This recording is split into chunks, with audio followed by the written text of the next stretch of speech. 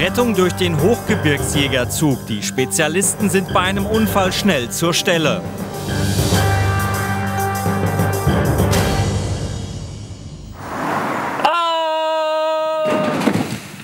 Absturz in eine Schlucht. Die Soldaten des Hochgebirgsjägerzuges eilen zur Hilfe. Gut, erstmal absitzen. Also wir haben eine verletzte Person unten in der Reichselklamm drin. Äh, wir brauchen jetzt das ganze Material für das Kransystem, das heißt Statikseile, äh, die Rück- und äh, Vorholseile sowie die Courtney-Rollen. Der Unfallplatzkommandant teilt ein und überwacht das Geschehen.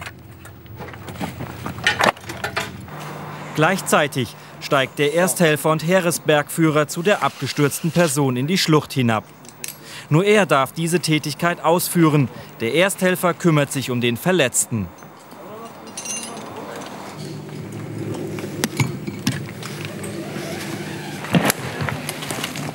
Also die ganze Ausrüstung haben wir nicht immer dabei. Das ist die Ausrüstung für eine planmäßige Bergrettung. Das heißt, wenn wir im Vorfeld informiert worden sind, es ist irgendwo was passiert ähm, und wir wissen ungefähr grob, was passiert ist und wo.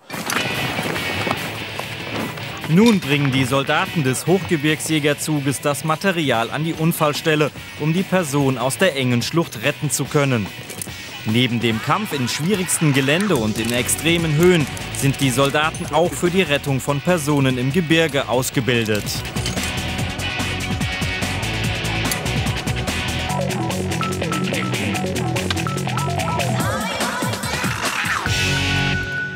Also wir haben jetzt äh, das Kransystem mit unserem äh, Rettungssatz aufgebaut. Ähm, da befindet sich hier einmal das Kransystem oder auch Laufkatze genannt ähm, wo, wo ich hier die zwei Trägerseile habe.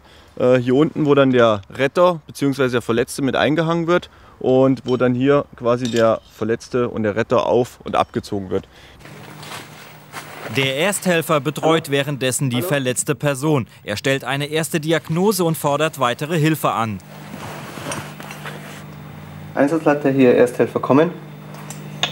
Hier Einsatzleiter kommen. Hier Ersthelfer. Ähm, verunfallte Person, äh, vermutlich äh, Schädel-Hirntrauma, des Weiteren äh, Verdacht auf äh, Wirbelsäulenverletzung und Fraktur rechter Unterschenkel.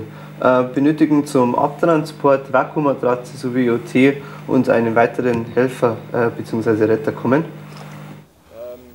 Daraufhin wird ein weiterer Soldat abgelassen.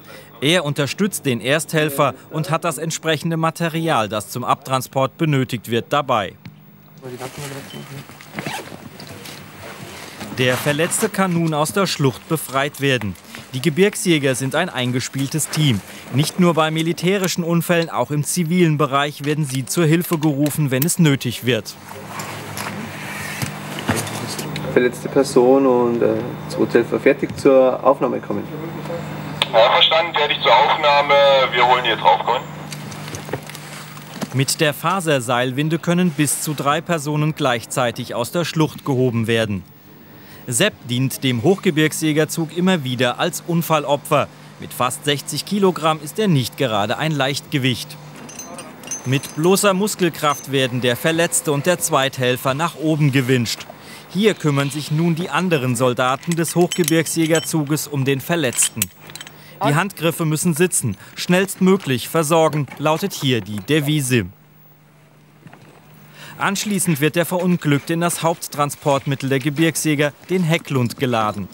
Damit wird die verletzte Person zu den Rettungskräften gebracht, die an einem Ort vor dem schwierigen Gelände warten.